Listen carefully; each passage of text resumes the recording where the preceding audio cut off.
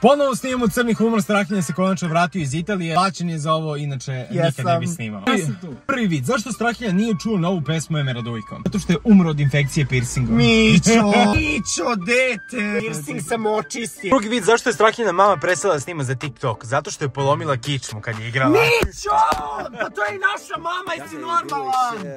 Da, ali šta ako stvarno sad polomi kičmu? Pa šta? Uči. Zbog svoje bezbednosti ću pred posljednji vid da izađem napolje. Posljednji vid, zašto je mali Strahinja bezbedno od Ajkule ovog leta? Zato što trudne u sanduku od prošle godine. Beži! Beži, šta? Beži! Beži od mene! Ajde, pusti me! Alo! Budalo!